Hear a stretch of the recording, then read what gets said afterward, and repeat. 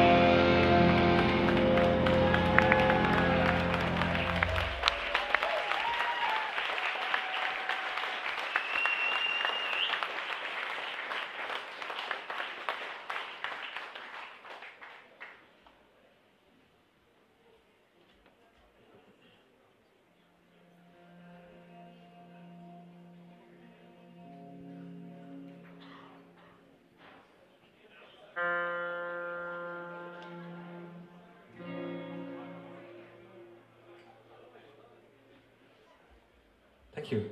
So this will be our last song for tonight, and then Anathema will be on stage. So we wish you a really nice evening and hope to see you next time. This is Délivrance.